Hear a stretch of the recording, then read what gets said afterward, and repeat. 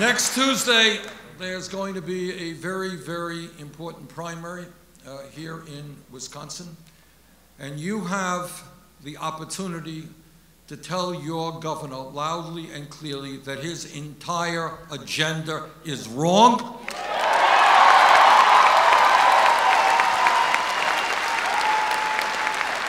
That we are not going to suppress the vote, we're going to increase voter turnout.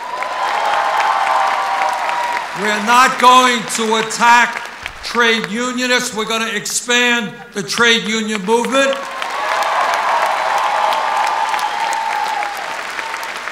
That we're not going to take money from the Koch brothers. We're going to overturn Citizens United.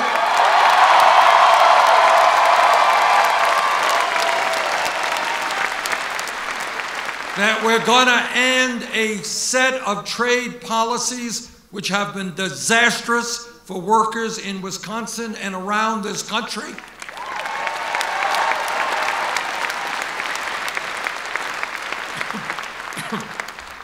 now, what we have found in this campaign is that we win elections when the voter turnout is high.